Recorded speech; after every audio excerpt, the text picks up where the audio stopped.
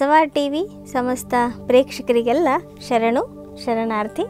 ಕಳೆದ ಸಂಚಿಕೆಯಲ್ಲಿ ಅರಿಷಟ್ ವರ್ಗಗಳನ್ನು ಕಳೆದುಕೊಂಡು ರಥವನ್ನು ಆಚರಿಸುವವನೇ ಶರಣ ಅನ್ನೋದನ್ನು ನಾನು ವ್ಯಾಖ್ಯಾನವನ್ನು ಮಾಡಿದೆ.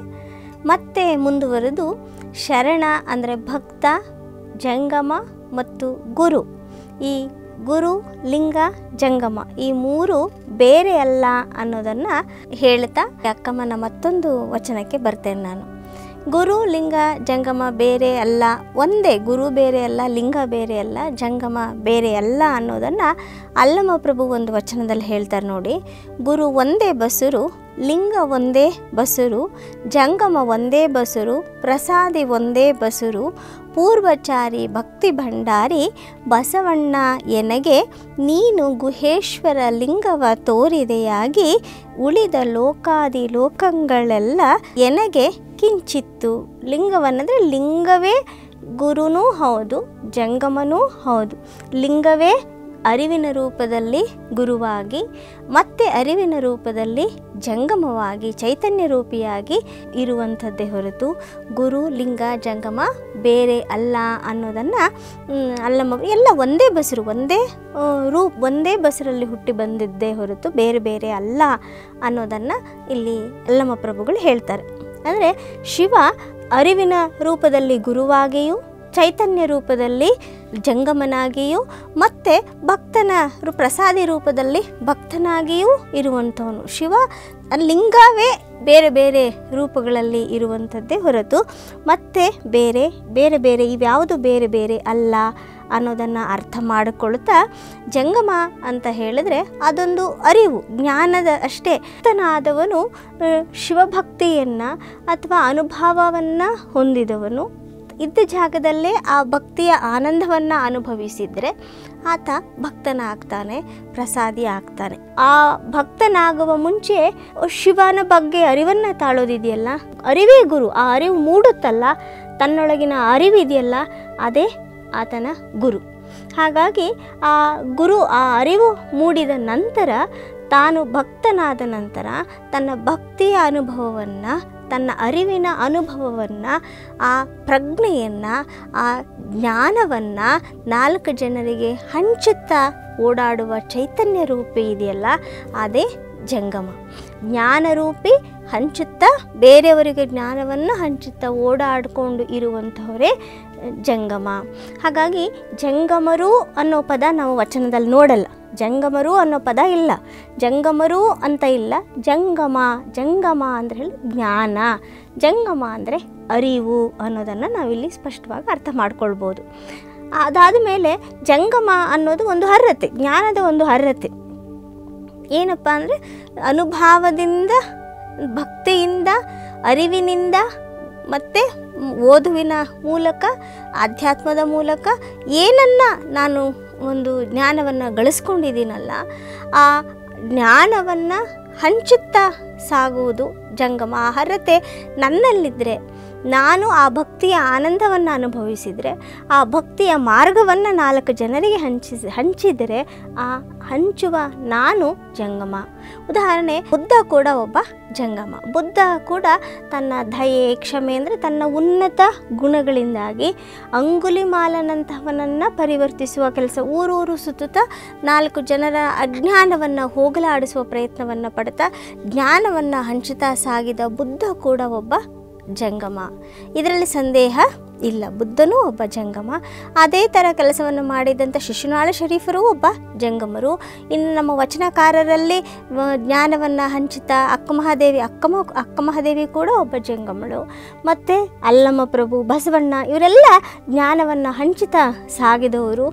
ಜನರ ಅಜ್ಞಾನವನ್ನು ಹೋಗಲಾಡಿಸೋಕೆ ಪ್ರಯತ್ನ ಪಟ್ಟವರು ತಮ್ಮ ಭಕ್ತಿಯ ಆನಂದವನ್ನು ಇತರರಿಗೂ ಹಂಚುವ ಪ್ರಯತ್ನವನ್ನು ಪಟ್ಟವರು. ಹಾಗಾಗಿ ಇವರು ಜಂಗಮರು. ಈ ಜಂಗಮ ಅನ್ನೋದು ಜ್ಞಾನ, ಅರಿವು ಅಷ್ಟೇ. ನಾವು ಬಹಳ ಸರಳವಾಗಿ ಅರ್ಥ ಮಾಡ್ಕೊಳ್ಳೋದಾದರೆ ಜಂಗಮ ಅನ್ನೋದು ಒಂದು ಜಂಗಮರು, ಜಂಗಮ ಅನ್ನೋದು ಒಂದು ಜಾತಿಯಲ್ಲ, ಒಂದು ಗುಂಪಲ್ಲ, ಒಂದು ಪಂಗಡವಲ್ಲ, ತನ್ನ ಅರಿವನ್ನು ಹಂಚುವವನೇ ಜಂಗಮ. ಅದು ಚೈತನ್ಯ ರೂಪಿಯಾಗಿ ಸಂಚರಿಸುತ್ತಾ ಜನರನ್ನು ಅಜ್ಞಾನದಿಂದ ಹೊರತರುವ ಪ್ರಯತ್ನ ಮಾಡ್ತಾರಲ್ಲ ಅವರೇ ಜಂಗಮರು. ಹಾಗಾಗಿ ಜಂಗಮ ಅನ್ನೋದು ಒಂದು ಅರ್ಹತೆ, ಒಂದು ಪದವಿಯೇ ಹೊರತು ಮತ್ತು ಅದಕ್ಕೆ ವಿಭಿನ್ನವಾದದ್ದು ವಿಶೇಷವಾದ ಮತ್ಯಾವ ಅರ್ಥವೂ ಇಲ್ಲ. ಹಾಗಾಗಿ ಜಂಗಮ ಅಂದಾಗ ಜ್ಞಾನ ಅನ್ನೋದನ್ನು ಅರ್ಥ ಮಾಡಿಕೊಳ್ತಾ ನಿಜವಾಗಿಯೂ ಜಂಗಮರ ಜಂಗಮವನ್ನು ಹೊಂದಿದವನು ಜಂಗಮರು. ಆ ಜಂಗಮರ ಸಾನ್ನಿಧ್ಯದಿಂದ ನಾವು ಉತ್ತಮ ಮಾರ್ಗದಲ್ಲಿ ನಡೆಯೋಕೆ ಸಾಧ್ಯ. ಅದೇ ಶ್ರೇಷ್ಠ, ಮೊದಲು ಉತ್ತಮ ಮಾರ್ಗ ಮುಖ್ಯ. ಆಮೇಲೆ ಗುರಿ. ಮಾರ್ಗವೇ ತಪ್ಪಾಗಿದ್ರೆ ನಾವು ಗುರಿಯನ್ನು ಮುಟ್ಟೋಕೆ ಸಾಧ್ಯವೇ ಇಲ್ಲ. ಹಾಗಾಗಿ ಜಂಗಮಕ್ಕೆ, ನಮ್ಮ ಅರಿವಿನ ಮಾರ್ಗವನ್ನು ತೋರಿಸುವ ಜಂಗಮಕ್ಕೆ ನಾವು ಮೊದಲು ನಿಷ್ಠರಾಗಿರಬೇಕು. ಆ ಜಂಗಮರ ಸಾನ್ನಿಧ್ಯ ನಮಗೆ ಒಳ್ಳೆಯ ಮಾರ್ಗವನ್ನು ಸೂಚಿಸುತ್ತೆ, ತೋರಿಸಿಕೊಡುತ್ತೆ. ಆ ಮಾರ್ಗದಲ್ಲಿ ನಡೆದಾಗ ನಾವು ನಮ್ಮ ಗುರಿಯನ್ನು, ಉನ್ನತಿಕೆಯನ್ನು ಮುಟ್ಟೋಕೆ ಸಾಧ್ಯ. ಆಗುತ್ತೆ. ಇದನ್ನು ಕುವೆಂಪು ಅವರ ರಾಮಾಯಣ ದರ್ಶನದಲ್ಲಿ ಕೂಡ ಕುವೆಂಪು ಅವರು ಇದೇ ಅರ್ಥದ ಒಂದು ಮಾತು ಹೇಳ್ತಾರೆ. ಏನಪ್ಪ ಅಂತ ಹೇಳಿದ್ರೆ, ಪ್ರಾಜ್ಞರ ಸಂಘವಿರಲು. ಪ್ರಾಜ್ಞರ ಸಂಘವಿರಲು ಚಂಚಲತೆಯು ಸುಸ್ಥಿರತೆ ಎಪ್ಪುದು ಅಚ್ಚರಿಯೇ ಅಂತ ಹೇಳಿ. ಅಂದರೆ ಪ್ರಜ್ಞಾವಂತರ ಸಂಘದಿಂದ ನಮ್ಮ ಚಂಚಲತೆಗಳು ಕೂಡ ಸ್ಥಿರವಾಗ್ತವೆ, ಸುಸ್ಥಿರವಾಗ್ತವೆ. ನಮ್ಮೊಳಗಿನ ಅಜ್ಞಾನ ತೊಲಗುತ್ತೆ, ಅಂಧಕಾರ ತೊಲಗಿ ಬೆಳಕಿನ ಕಡೆಗೆ ನಮ್ಮನ್ನು ಅವರು ಕರ್ಕೊಂಡು ಬರ್ತಾರೆ ಅನ್ನುವಂಥ ಮಾತನ್ನು ರಾಮಾಯಣ ದರ್ಶನಂನಲ್ಲಿ ಕುವೆಂಪು ಅವರು ಹೇಳ್ತಾರೆ. ಅಂದರೆ ಈ ಜಂಗಮ, ಈ ಜ್ಞಾನ ಅನ್ನೋದಿದೆಯಲ್ಲ, ಆ ಜ್ಞಾನವನ್ನು ನೀಡುವವನು ಬಹಳ ದೊಡ್ಡ ಸ್ಥಾನದಲ್ಲಿ ಇರ್ತಾನೆ. ಅದಕ್ಕೆ ವಚನಕಾರರಲ್ಲಿ ಗುರು ಲಿಂಗ ಜಂಗಮಕ್ಕೆ ಬಹಳ ಮಹತ್ವವಾದ ಸ್ಥಾನ ಇರುವಂಥದ್ದು. ಏನಪ್ಪ ಅಂತೇಳಿ ಗುರು ಅರಿವನ್ನು ಮೂಡಿಸುವುದು, ಅಂದರೆ ನಮ್ಮೊಳಗೆ ಅರಿವು ಹೊಮ್ಮುತ್ತಲ್ಲ, ಅದೇ ಗುರು. ಆದರೆ ಆ ನಮ್ಮೊಳಗೆ ಅರಿವು ಹೊಮ್ಮೋದಕ್ಕೆ ಮಾರ್ಗವನ್ನು ಸೂಚಿಸ್ತಾರಲ್ಲ. ಜ್ಞಾನರು ಜ್ಞಾನ ಮಾರ್ಗವನ್ನು ಸೂಚಿಸೋನಲ್ಲ ಅದೇ ಜಂಗಮ. ಹಾಗಾಗಿ ಆ, ಈ ಗುರು ಲಿಂಗ ಜಂಗಮಕ್ಕೆ ಬಹಳ ಮಹತ್ವದ ಸ್ಥಾನವನ್ನು ನಮ್ಮ ವಚನಕಾರರು ಕೊಟ್ಟಿರೋದರಲ್ಲಿ ಆಶ್ಚರ್ಯವೇ ಇಲ್ಲ. ಹನ್ನೆರಡನೇ ಶತಮಾನದ ಈ ಒಂದು ಏನು ವಿಷಯಗಳು ಇದಾವಲ್ಲ, ಇವತ್ತು ಕೂಡ ನಮಗೆ ಅಷ್ಟು ಅರ್ಥಪೂರ್ಣವಾಗಿ ಇವತ್ತು ಪ್ರಸ್ತುತದಲ್ಲೂ ನಾವು ಅರ್ಥ ಮಾಡಿಕೊಳ್ಬೇಕಾದಂಥ ಸಂಗತಿಗಳು. ನಮ್ಮ ಯುವಕರಿಗೆ ಮತ್ತು ನಮ್ಮ ಮಕ್ಕಳಿಗೆ ನಮಗೆ ಪ್ರತಿಯೊಬ್ಬರು ಸ ಎಷ್ಟು ಸಾಧ್ಯ ಆಗುತ್ತೋ ಅಷ್ಟು ನಾವು ಸಜ್ಜನರ ಸಂಘದಲ್ಲಿ ಇರುವಂತಹ ಪ್ರಯತ್ನವನ್ನು, ಸನ್ಮಾರ್ಗದಲ್ಲಿ ನಡೆಯುವಂಥ ಪ್ರಯತ್ನವನ್ನು ಮಾಡಿದಾಗ ಲಿಂಗವನ್ನು ಮುಟ್ಟೋದು ಕಷ್ಟ ಅಲ್ಲ. ಅಂದರೆ ನಾವು ಉನ್ನತಿಕೆಯನ್ನು ಸಾಧಿಸೋದು ಸಾ ಕಷ್ಟದ ಮಾತಲ್ಲ ಅನ್ನೋದನ್ನು ಅರ್ಥ ಮಾಡಿಕೊಳ್ಬೋದು. ಅಂದರೆ ಇಲ್ಲಿ ಅಕ್ಕಮ್ಮ ಈ ವಚನದಲ್ಲಿ ಏನು ಹೇಳ್ತಾರೆ ಅನ್ನೋದನ್ನು ನೋಡಿ ಮತ್ತೆ ನಾನು ಮುಂದುವರಿಸ್ತೀನಿ.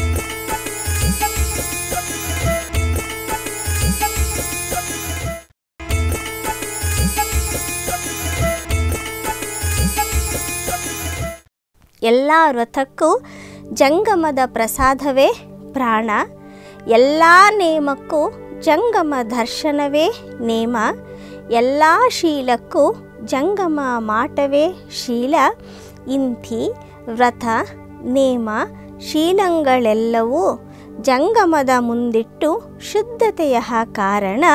ಆ ಜಂಗಮದಲ್ಲಿ ಅರ್ಥ, ಪ್ರಾಣ, ಅಭಿಮಾನಕ್ಕೆ ಕಟ್ಟು ಮಾಡಿದೆನಾದಡೆ ಎನಗದೆ ದ್ರೋಹ. ಆ ಜಂಗಮದ ದರ್ಶನದಿಂದ ಸಕಲ ದ್ರವ್ಯ ಪವಿತ್ರ ಜಂಗಮದ ಪಾದತೀರ್ಥದಿಂದ ಘನಲಿಂಗಕ್ಕೆ ಜೀವ ಕಳೆ ಆ ಜಂಗಮದ ಪ್ರಸಾದದಿಂದ ಘನಲಿಂಗಕ್ಕೆ ತೃಪ್ತಿ. ಇಷ್ಟ ನರಿತಲ್ಲಿ ಜಂಗಮಲಿಂಗಕ್ಕೆ ಸಂದೇಹ ಮಾಡಿದಡೆ ಎನಗೆ ಕುಂಭೀಪಾತಕದಲ್ಲಿ ನಾಯಕ ನರಕ ತಪ್ಪದು. ಆಚಾರವೇ ಪ್ರಾಣೇಶ್ವರ ಲಿಂಗ ಸಹಿತಾಗಿ ಮುಳುಗುವೆನು. ಆಚಾರವೇ ಪ್ರಾಣವಾದ ಲಿಂಗ ಸಹಿತವಾಗಿ ಮುಳುಗುವೆನು. ಜಂಗಮವನ್ನು ಜಂಗಮರನ್ನು ನಾನು ತಿರಸ್ಕರಿಸಿದರೆ ಅವರಿಗೆ ತಪ್ಪಿ ನಡೆದರೆ, ಜಂಗಮಕ್ಕೆ ತಪ್ಪಿ ನಡೆದರೆ, ಜಂಗಮಕ್ಕೆ ಆಚಾರವನ್ನು ಮರೆತು ನಡೆದರೆ ನಾನು ಮುಳುಗ್ತೇನೆ. ಶಿವನೊಡನೆ ಮುಳಂದರೆ ಆಚಾರ ಪ್ರಾಣಲ್ವಾದ ರಾಮೇಶ್ವರ ಲಿಂಗದ ಸಹಿತವಾಗಿ ಮುಳುಗ್ತೇನೆ. ಮತ್ತು ನನಗೆ ಕುಂಬಿ ಪಾತಕ ನರಕ ತಪ್ಪೋದಿಲ್ಲ. ಅಂದರೆ ಜಂಗಮಕ್ಕೆ ನೀನು ನಿಷ್ಠನಾಗಿ ಇರು. ಜಂಗಮಕ್ಕೆ ಸಾಧ್ಯವಾದಷ್ಟು ನೀನು ನಿಯತ್ತಿನಿಂದ ನಡೆದುಕೋ ಅನ್ನುವಂಥ ಮಾತನ್ನು. ಯಾಕಂದರೆ ಅದೇ ಆ ಜಂಗಮವೇ ಪರಮಾತ್ಮ. ಆ ಜಂಗಮವೇ ಆತ್ಯಂತಿಕವಾದದ್ದು ಅನ್ನೋದನ್ನು ಅಕ್ಕಮ್ಮ ಇಲ್ಲಿ ಬಹಳ ಸ್ಪಷ್ಟವಾಗಿ ಹೇಳ್ತಾ ಇರೋದು. ಅದೇ ಶ್ರೇಷ್ಠ ಅನ್ನೋದನ್ನು ಹೇಳಿ. ಎಲ್ಲ ವ್ರತಕ್ಕೂ ಅಂದರೆ ಜಂಗಮವೇ ಶ್ರೇಷ್ಠ ಅಂತ ಹೇಳಿ. ಜಂಗಮ ಅಂದರೆ ಜ್ಞಾನ ಅನ್ನೋದು. ಇದನ್ನೇ ವಚನಕಾರರು ಎಲ್ಲ ಕಡೆ ಹೇಳೋದು ಲಿಂಗ ಜ್ಞಾನರೂಪಿ, ಪರಮಾತ್ಮ ಜ್ಞಾನರೂಪಿ. ಆ ಜ್ಞಾನವೇ, ಆ ಅರಿವೇ ಶ್ರೇಷ್ಠವಾದದ್ದು ಅನ್ನೋದನ್ನು ಬಹಳ ಮತ್ತೆ ಮತ್ತೆ ಅದನ್ನು ನಮಗೆ ಹೇಳ್ತಾ ಇರುವಂಥದ್ದನ್ನು ನಾವು ಎಷ್ಟೋ ವಚನಗಳಲ್ಲಿ ಕಾಣ್ತಾ ಇದ್ದೇವೆ ಎಲ್ಲ ವ್ರತಕ್ಕೂ ಜಂಗಮದ ಪ್ರಸಾದವೇ ಪ್ರಾಣ. ಯಾವುದೇ ವ್ರತ ಮಾಡಿದ್ರೂ ಜಂಗಮ ಪ್ರಸಾದ. ಜಂಗಮರಿಗೆ ಅಂದರೆ ಉಣಲು ಬನ್ ಬಂದ ಜಂಗಮಕ್ಕೆ ಉಣಲಿ ಇಡದೆ ಲಿಂಗಕ್ಕೆ ಉಣಬಡಿಸುವರೆ ಅಂತ ಇದನ್ನು ನಾವು ಕೇಳಿದ್ರೆ ಜ್ಞಾನವನ್ನು ಹಂಚುತ್ತಾ ಜಂಗಮರು ಬಂದಾಗ ಅವರಿಗೆ ತೃಪ್ತಿಯನ್ನು ಪಡಿಸೋದು ನಮ್ಮ ಕರ್ತವ್ಯ.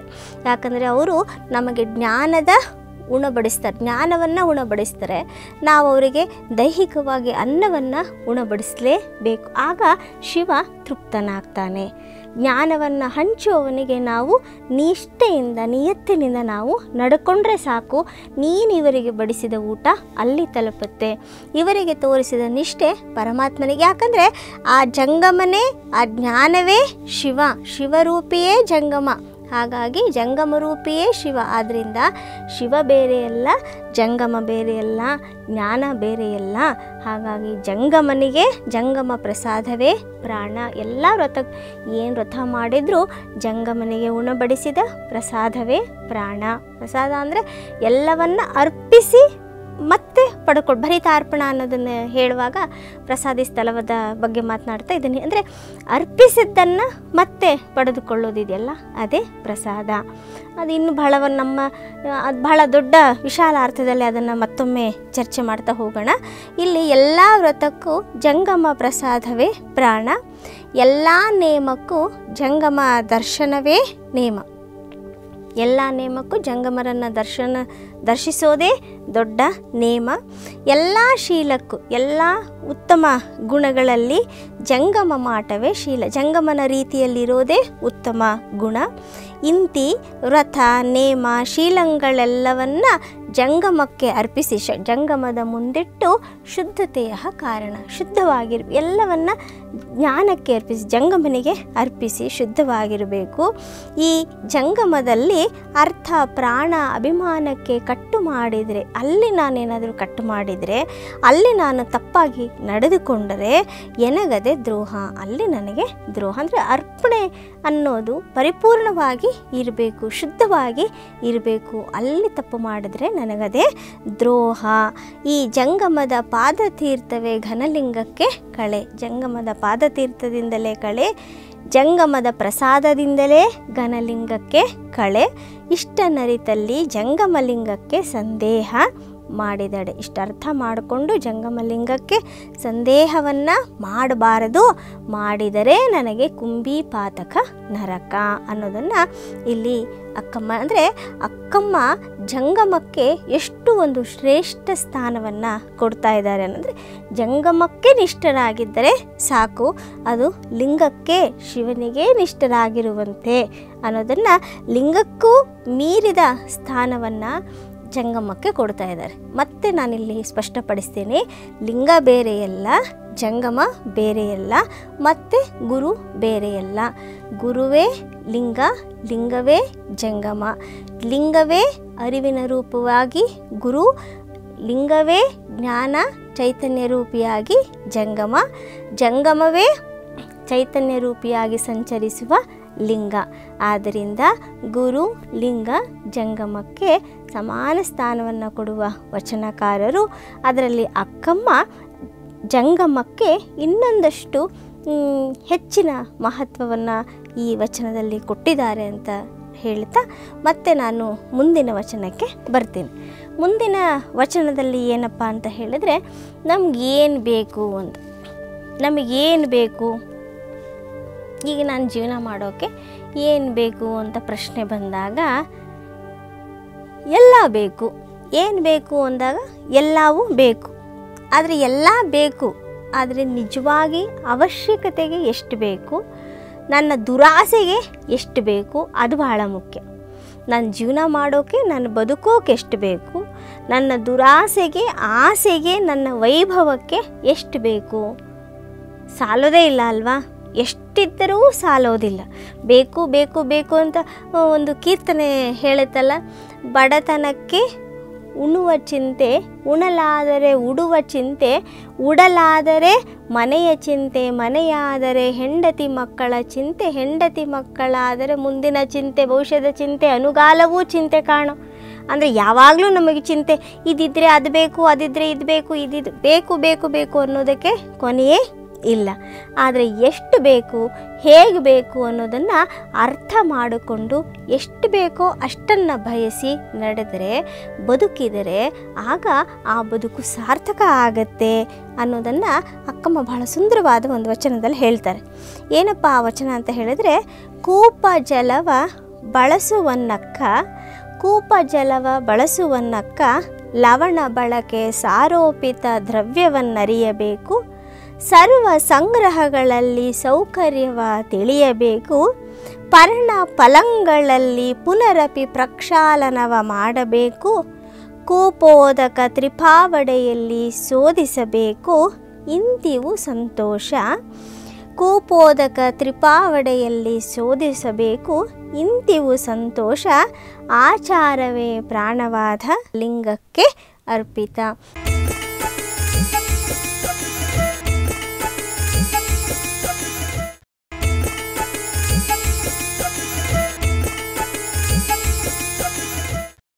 ಕೂಪಜಲವ ಬಳಸುವನ್ನಕ್ಕ ಲವಣ ಬಳಕೆ ಸಾರೋಪಿತ ದ್ರವ್ಯವನ್ನರಿಯಬೇಕು. ಬಾವಿ ನೀರನ್ನು ಬಳಸುವಾಗ ಅದರಲ್ಲಿ ಎಷ್ಟು ಉಪ್ಪಿನ ಬಳಕೆ ಉಪ್ಪು ಬೆರೆತು ಹೋಗಿದೆ ಅನ್ನೋದನ್ನು ನಾವು ಅರಿಯಬೇಕು. ಎಷ್ಟು ಬೆರೆತಿದೆ. ಅದಕ್ಕೆ ತಕ್ಕಂಗೆ ಎಷ್ಟು ಉಪ್ಪು ನೀರ, ಸಿಹಿ ನೀರ, ಬಾವಿ ನೀರು ಬಳಸುವಾಗ ನಾವು ನೋಡ್ತೀವಲ್ವ? ಇದು ಉಪ್ಪು ನೀರ, ಸಿಹಿ ನೀರ, ಇದು ಬೇಕಾ, ಇದೇನು ಯಾವುದಕ್ಕೆ ಬಳಸಬೇಕು? ಇದನ್ನೆಲ್ಲ ನಾವು ನೋಡುವಂತೆ ಸರ್ವ ಸಂಗ್ರಹಗಳಲ್ಲಿ ಸೌಕರ್ಯವ ತಿಳಿಯಬೇಕು. ಬಾವಿ ನೀರಿದೆ ಅಂದ ತಕ್ಷಣ ಅದನ್ನು ಉಪ್ಪು ಎಷ್ಟಿದೆ, ಏನು ಅಂತ ಹೇಳಿ ಹೇಗೆ ನಾವು ಯೋಚನೆ ಮಾಡಿ ಆಮೇಲೆ ಬಳಕೆ ಮಾಡ್ತೀವೋ ಹಾಗೆ ಸರ್ವ ಸಂಗ್ರಹಗಳಲ್ಲಿ ಎಲ್ಲ ಸಂಗ್ರಹವನ್ನು ಮಾಡ್ಕೊಂಡಿರ್ತೀವಿ ಅಥವಾ ಮಾಡ್ಕೊಳ್ಬೇಕು ಅಂತ ಬಯಸ್ತೇವೆ. ಎಲ್ಲ ಬೇಕು ಎಲ್ಲ ಬೇಕು ಅಂತ. ಆದರೆ ಸೌಕರ್ಯವ ತಿಳಿಯಬೇಕು. ನಮಗೇನು ಸೌಕರ್ಯ? ಎಷ್ಟು ಬೇಕು? ಅಷ್ಟು ಬೇಕು. ಮನೆ ಬೇಕು, ಮನೆ ಇರೋದಕ್ಕೆ ಒಂದು ಒಂದು ಸಂತೃಪ್ತಿಯಾಗಿ ಒಂದು ವ್ಯವಸ್ಥೆ ಇರೋ ಒಂದು ಪುಟ್ಟ ಮನೆನೋ, ಒಂದು ಸ್ವಲ್ಪ ದೊಡ್ಡ ಮನೆನೋ. ಮನೆ ಬೇಕು, ದೊಡ್ಡ ಮನೆ ಬೇಕು. ಬೇಕಾ? ಮನೆ ದೊಡ್ಡದಿದೆ ಅಂದರೆ ದುಡ್ಡಿದೆ, ಅದಕ್ಕೆ ದೊಡ್ಡದಿದೆ ಹೊರತು ಅಷ್ಟು ದೊಡ್ಡ ಮನೆ ಬೇಕಾ ಅನ್ನೋ ಪ್ರಶ್ನೆ ಬರೋದು ಸಹಜ ಅಲ್ವಾ? ದುಡ್ಡಿದೆ, ಮನೆ ದೊಡ್ಡದಾಯಿತು ಅನ್ನೋದು ಬಿಟ್ಟರೆ ಆ ಮನೆ ಬೇಕಾ? ಇದನ್ನು ಯೋಚನೆ ಮಾಡಬೇಕು. ತನ್ನ ಸೌಕರ್ಯವ ಅರಿತು ಅದನ್ನು ಬಳಸಬೇಕು. ಎಲ್ಲ ಸಂಗ್ರಹ ಇದ್ರೂ ತನ್ನ ಸೌಕರ್ಯ ಅಂದರೆ ಇದೇ, ಇದೆ ಇದೆ ಅನ್ನೋ ಕಾರಣಕ್ಕೆ ಎಲ್ಲವನ್ನ ಬಳಸುವ ಬದಲಾಗಿ ಇರೋದನ್ನು ನಾಲ್ಕು ಜನರಿಗೆ ಉಪಯೋಗವಾಗುವಂತಹ ಕೆಲಸಗಳ ಒಂದು ಉದ್ಯಮವನ್ನು ಸ್ಥಾಪಿಸುವ ಮೂಲಕ ನಾಲ್ಕು ಜನರಿಗೆ ಉಪಯೋಗ ಆಗಬೇಕು ಅಂದ ತಕ್ಷಣ ಎಲ್ಲವನ್ನು ದಾನ ಮಾಡು ಅಂತಲೇ ಅರ್ಥ ಅಲ್ಲ. ಸಮಾಜ ಕಲ್ಯಾಣ ಮಾಡು ತಕ್ಷಣ ಎಲ್ಲನೂ ಹಂಚು ಅನ್ನೋದೇ ಅರ್ಥ ಅಲ್ಲ. ಆ ಸಂಪತ್ತಿನಿಂದ, ಆ ಹಣದಿಂದ ನಾಲ್ಕು ಜನರಿಗೆ ಉದ್ಯೋಗವನ್ನು ಒದಗಿಸಿಕೊಡುವಂಥ, ದೇಶಕ್ಕೆ ಒಂದು ಒಳ್ಳೆಯ ಕೆಲಸವನ್ನು ಮಾಡುವಂತಹ, ಮತ್ತು ಏನಾದರೂ ಒಂದು ಬೇರೆ ರೀತಿಯ ಕೆಲಸವನ್ನು ಮಾಡುವುದನ್ನು ಕೂಡ ನಾವು ಒಂದು ಬಗೆಯ ಒಳ್ಳೆಯ ಕೆಲಸ ಅಂತ ಈಗ ನಾವು ಇನ್ಫೋಸಿಸನ್ನು ಇನ್ಫೋಸಿಸನ್ನು ನೋಡ್ತಾ ಹೋದರೆ ಸುಧಾಮೂರ್ತಿಯವರನ್ನು ಮತ್ತು ನಾರಾಯಣ ಮೂರ್ತಿಯವರನ್ನು ನೋಡ್ತಾ ಹೋದಾಗ ಅವರು ಬೇರೆ ಥರದ ಸಹಾಯ ಮಾಡುವುದರ ಜೊತೆಗೆ ಅದಕ್ಕೂ ಮೊದಲು ಒಂದು ಇನ್ಫೋಸಿಸ್ ಅಂತ ಒಂದು ದೊಡ್ಡ ಸಂಸ್ಥೆಯನ್ನು ಕಟ್ಟಿ ಬೆಳೆಸಿದ್ರಲ್ಲ, ಅದೇ ಬಹಳ ದೊಡ್ಡದು. ಎಷ್ಟು ಜನರಿಗೆ ಉದ್ಯೋಗವನ್ನು ಅದು ಕಲ್ಪಿಸ್ಕೊಡ್ತಲ್ಲ, ತನ್ನ ಇದೇ ಅನ್ನೋ ಕಾ, ಅನ್ನೋದನ್ನು ಯಾವ ಥರ ಬಳಸ್ತೀವಿ ಯಾವ ಥರ ಅದನ್ನು ಉಪಯೋಗ ಮಾಡಿಕೊಳ್ತೀವಿ ಅನ್ನೋದನ್ನು ಬಹಳ ಮುಖ್ಯವಾದದ್ದು. ಸರ್ವ ಸಂಗ್ರಹಗಳಲ್ಲಿ ಸೌಕರ್ಯವ ತಿಳಿಯಬೇಕು. ಎಷ್ಟು ಸೌಕರ್ಯ ನನಗೆಷ್ಟು ಬೇಕು, ಮತ್ತು ಇದರಿಂದ ಏನು ಮಾಡ್ಬೋದು, ಜನರಿಗೆ ಉಪ, ಉಪಕಾರ ಆಗುವಂತೆ ಹೇಗೆ ಇದನ್ನು ಬಳಸ್ಬೋದು, ಅದನ್ನು ನಾವು ತಿಳ್ಕೊಳ್ಬೇಕು.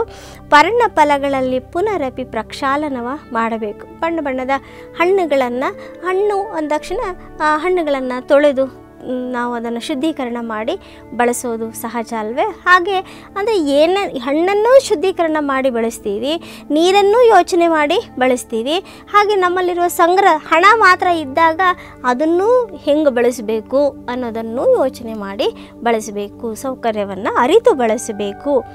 ಕೂಪೋದಕವ ತ್ರಿಪಾವಡೆಯಲ್ಲಿ ಶೋಧಿಸಬೇಕು. ಕೂಪೋದಕ ಅಂದರೆ ಬಾವಿಯ ನೀರು. ಬಾವಿಯ ನೀರು ಅದರಲ್ಲೂ ಎಲ್ಲ ಬಾವಿಯ ನೀರು ಅಲ್ಲದಿದ್ದರೂ ಕೆಲವು ಬಾವಿಯ ಕಲ್ಮಶವಾದ ನೀರು ಅಂದರೆ ಮಣ್ಣು, ಕಲ್ಮಶ ಅಂದರೆ ಮಣ್ಣು ಬೆರೆತ ನೀರು ಇದ್ದಾಗ ತ್ರಿಪಾವಡೆಯಲ್ಲಿ ಅದನ್ನು ಶೋಧಿಸಬೇಕು. ಇಂತಿವು ಸಂತೋಷ. ಅಂದರೆ ನೀರನ್ನು ಹೇಗೆ ಶೋಧಿಸಿ ಬಳಸ್ತೀವೋ, ಫಲಗಳನ್ನು ಹೇಗೆ ನಾವು ಶುಚಿಗೊಳಿಸಿ ಬಳಸ್ತೀವೋ ಬಾವಿಯ ನೀರಲ್ಲಿ ಎಷ್ಟು ಉಪ್ಪಿನಂಶ ಇದೆ ಅಂತ ಯೋಚನೆ ಮಾಡಿ ಆನಂತರ ಅದನ್ನು ಶೋಧಿಸಿ ಬಳಸ್ತೀವೋ ಹಾಗೆ ಸರ್ವ ಸಂಗ್ರಹಗಳಲ್ಲಿ ನಮಗೆ ಎಷ್ಟು ಹಿತ ಅನ್ನೋದನ್ನು ಯೋಚನೆ ಮಾಡಿ ನಮ್ಮ ಸೌಕರ್ಯಕ್ಕೆ ಬಳಸಬೇಕು. ಆಗಲೇ ಸಂತೋಷ. ದುಡ್ಡಿದೆ ಅಂದಾಗ ಆ ದುಡ್ಡನ್ನು ನಾಲ್ಕು ಜನರಿಗೆ ಉಪಕಾರ ಆಗುವಂತೆ ಬಳಸೋ ಮಾರ್ಗ ಹೇಗೆ? ಇದರಿಂದ ಏನಾಗುತ್ತೆ ಅಂತ ಬಳಸೋದು ಹೇಗೆ? ನಮ್ಮ ನಮ್ಮನ್ನು ಅಂದರೆ ನಮ್ಮಲ್ಲಿ, ನಾನು ಮೊದಲು ಹೇಳಿದ ಹಾಗೆ ನಮಗೆ ಮೋಸ ಮಾಡ್ಕೊಂಡು ಕೊಡುವಂತಲ್ಲ. ನಮ್ಮ ಸೌಕರ್ಯವನ್ನು ನೋಡಿಕೊಂಡು ನಾಲ್ಕು ಜನರಿಗೆ ಉಪಕಾರ ಮಾಡೋದು ಹೇಗೆ? ಅನ್ನೋದನ್ನು ಗಮನಿಸ್ತಾ, ಮತ್ತು ನಾನಾಗಲೇ ಹೇಳಿದೆ, ಸೌಕರ್ಯ ಇದೆ ಅಂತ ಎಲ್ಲ ನಾನು ಬಳಸೋದ್ರಿಂದ ಅದರಿಂದ ದುಃಖ ಬರುತ್ತೆ. ಉದಾಹರಣೆ ಸುಮ್ಮನೆ ಒಂದು ಸಿಂ ಸರಳವಾಗಿ ಹೇಳಿದ್ರೆ, ಒಂದು ಮನೆ, ಒಂದು ಸಾಮಾನ್ಯ, ಒಂದು ಸಾಧಾರಣ ಮನೆ ಇದ್ದರೆ ಹೇಗೋ ಅದನ್ನು ಮೇಂಟೈನ್ ಮಾಡೋದು, ತೊಳ್ಕೊಳ್ಳೋದು, ಗುಡಿಸ್ಕೊಳ್ಳೋದು ಸರಿ. ಅದೇ ದೊಡ್ಡ ಮನೆ ಆದರೆ, ಆ ದೊಡ್ಡ ಮನೆಗೆ ಬೇಕಾದ ಆಳು ಕಾಳುಗಳು, ಅವರ ಸಂಬಳ, ಸೌಕರ್ಯ, ಮತ್ತೆ ಹೆಚ್ಚೆಚ್ಚು ಅವುಗಳಿಗೆ ಅಂದರೆ ಎಷ್ಟು ಸಂಪತ್ತು ಅಥವಾ ಎಷ್ಟು ಈ ಸೌಕರ್ಯಗಳು ಜಾಸ್ತಿ ಆಗುತ್ತೋ ಅಷ್ಟು ತಲೆಬೇನೆಗಳು ಜಾಸ್ತಿ ಆಗುತ್ತೆ.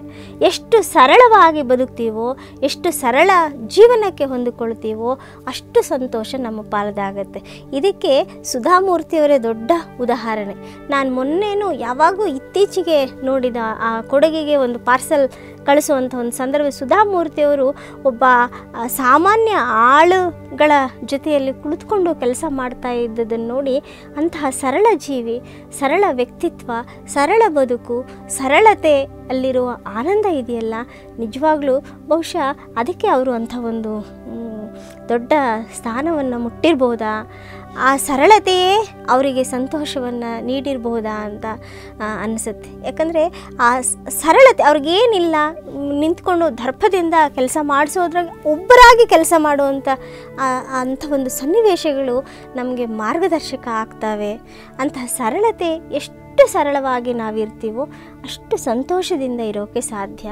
ಎಲ್ಲ ಇದೆ ಅಂತ ಹೇಳಿ ನೋಡಿ ನಾನು ಆ ಪದ ಆ ಸಾಲನ್ನು ಬಹಳ ಮತ್ತೆ ಮತ್ತೆ ಅರ್ಥ ಮಾಡ್ಕೊಳ್ಬೇಕು. ಸರ್ವ ಸಂಗ್ರಹಗಳಲ್ಲಿ ಸೌಕರ್ಯವ ತಿಳಿಯಬೇಕು. ನಮ್ಮ ಸೌಕರ್ಯವನ್ನು ತಿಳಿದು ಎಷ್ಟು ಸಾಧ್ಯ ಆಗುತ್ತೋ ಅಷ್ಟು ನಮ್ಗೆ ಎಷ್ಟು ಬೇಕೋ ಅಷ್ಟನ್ನು ನಾವು ಉಪಯೋಗಿಸ್ಕೊಂಡು ಯೋಚನೆ ಮಾಡಿ ನಮಗೆ ಬೇಕಾದಷ್ಟು ಸರಳವಾಗಿ ಬದುಕೋದನ್ನು ಕಲ್ತ್ಕೊಂಡ್ರೆ ಅದು ಸಂತೋಷಕ್ಕೆ ಮಾರ್ಗ, ದಾರಿ ಅನ್ನೋದನ್ನು ಇಂತಿವು ಸಂತೋಷ, ಆಚಾರವೇ ಪ್ರಾಣವಾದ ಲಿಂಗಕ್ಕೆ ಅರ್ಪಿತ ಅಂತ ಹೇಳಿ ಅಕ್ಕಮ್ಮ ಈ ವಚನದಲ್ಲಿ ಹೇಳ್ತಾರೆ.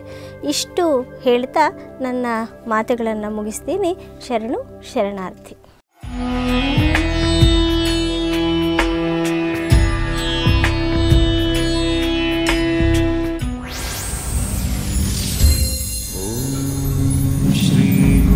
Johnson.